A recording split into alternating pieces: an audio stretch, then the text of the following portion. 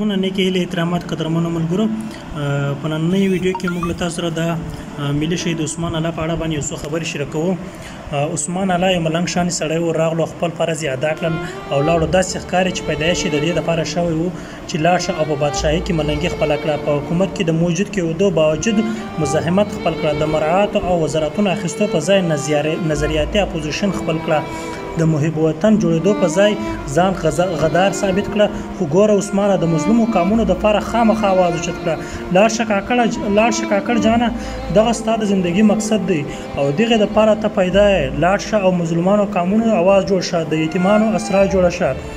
د بورو میندو حوصله جوړه شه دغه وزارتونو دغه منصبونه دغه مال دولت دغه مراعات دا ټول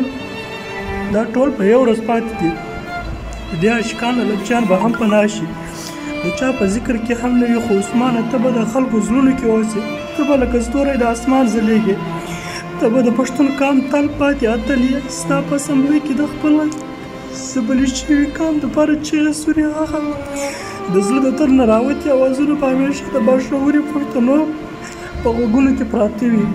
ستا ژوند د هر پښتون لپاره بل مشال دی بل ډیوه ده ته زموږ سپېځلی مشر وي او یې ته د هېرېدلو نه لالا کله چې زموږ وخت راشي په خپلو ادارو کې به ستا تصویران ځوړندوو خپل نصاب کې به ستا ژوند شاملوو موږ په تا ژوند خدای ژوندی ساتو ته زموږ د را روان نسل اتل یې په اسمبلۍ کې به ستا شور داسې لګېدو څنګه چې د یوې مرغۍ ژاړي ته مار ورځي او مرغۍ د خپلو بچو بچ کولو دپاره غیر چاپېره الوځي او شور کوي ته د قام دپاره د مور په شان وې لالا لکه د مرغۍ چیغې